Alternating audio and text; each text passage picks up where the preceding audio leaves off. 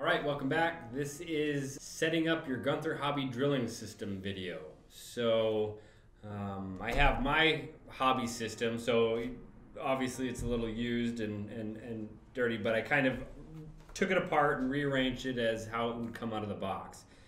So um, when you get it, it's going, the, the head of the drill press is going to be lowered so that it can fit in the box. Um, so the first thing you need to do is um, identify the three hand bolts on the side.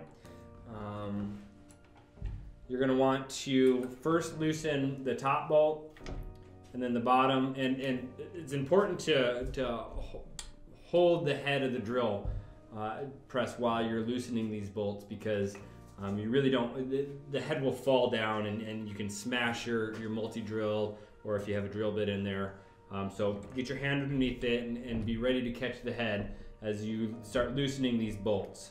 Um, so start from the top one, go to the middle one, and then the bottom one is your, your last catch, you know, so, so always do your last, uh, the bottom one for uh, last. So um, just loosen it and, and, and raise it up towards the top, you know, it doesn't, you know, make that kind of flush up there.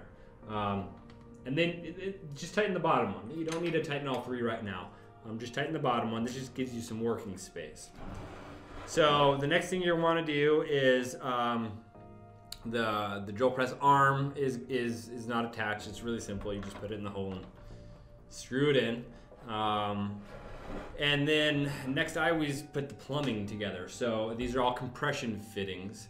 So you take off your the nut here, and then you um, Take your uh, pressure hose, just slide the nut onto the pressure hose and put the hose onto the little bib there and push it all the way flush and then just hand tighten this down. It doesn't need to be, you don't need to get a wrench or anything, just, just hand tighten it down. Um, do the same thing with your hose connector. Um, the hose connector that comes in your box might look different. Um, we have a couple of different variations of these. So, so don't worry if, if your hose connector doesn't look like mine. They're all compression fittings, so they should all go on the same. Again, uh, put the nut on the uh, pressure, uh, pressure hose and then slide the hose onto the little uh, bib there and then hand tighten it down.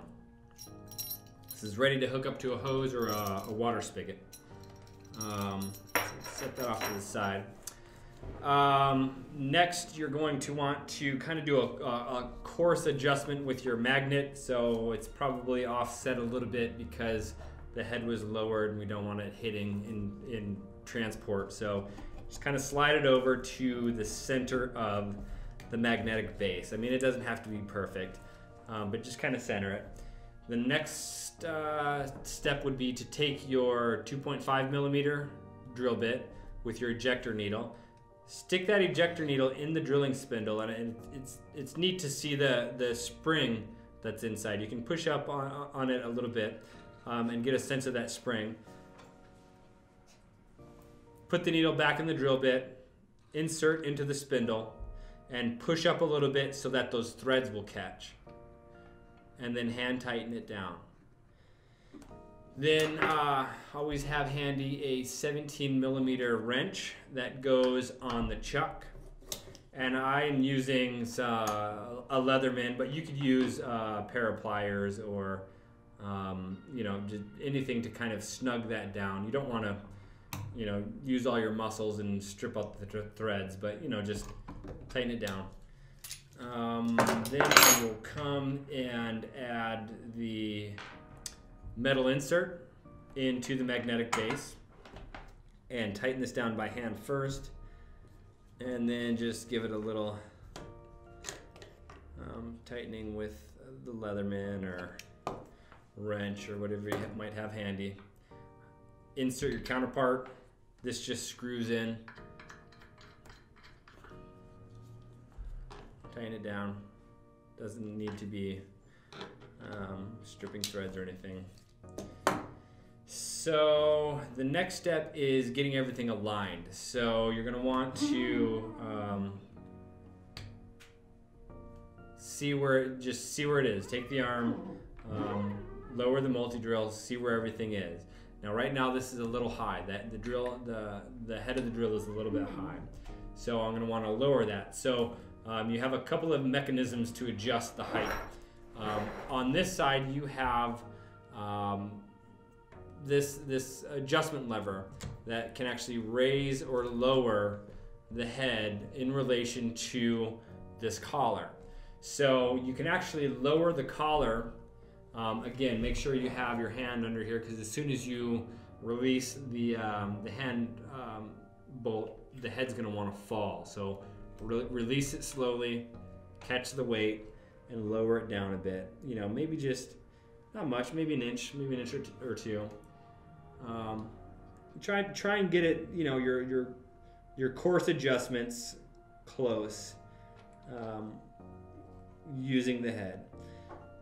Um, and then see where it lines up. Now, obviously, we're, we're off center, but um, I'm going to want to take it up a little bit with this lever system. So that way I can lower it. Now, now I have my arm, I have the, the the uh, the drill spindle all the way lowered, and I, I then lower the entire head using this lever system onto the counterpart. Once I feel that weight kind of released, then I come in, I tighten all three of these hand bolts. Tighten, tighten, tighten. Now the head's locked in place. And I can get to my fine adjustment so I lower it again, and I just take a plastic mallet um, and I just kind of tap it so that these, the counterpart and the drill bit are flush.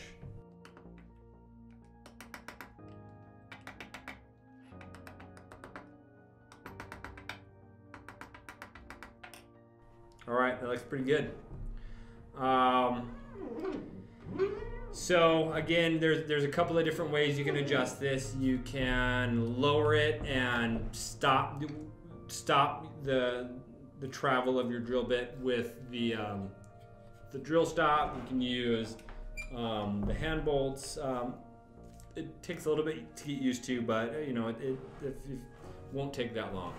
Um, at this point, you're ready to connect to some water. Plug in your Krieger 350 watt transformer into the wall, take your um, European uh, Proxxon drill press uh, plug, plug it in. They all have a, um, a breaker on it. So turn on the breaker, turn on your water, and you should be ready to drill.